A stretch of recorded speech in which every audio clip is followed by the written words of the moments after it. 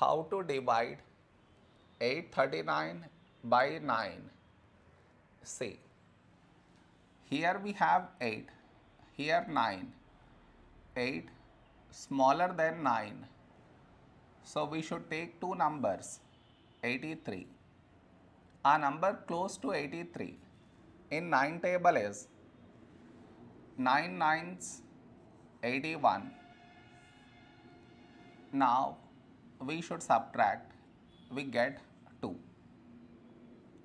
After this, bring down the beside number. So 9 down, so 29. A number close to 29 in 9 table is 9 threes 27. Now we subtract, we get 2. After this, no more numbers to bring it down.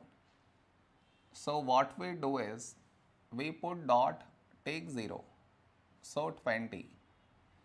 A number close to 20 in 9 table is 9 twos 18. Now we subtract, we get 2. Now you observe, we had 2 here and we got 2 again. That means this number keep on repeating.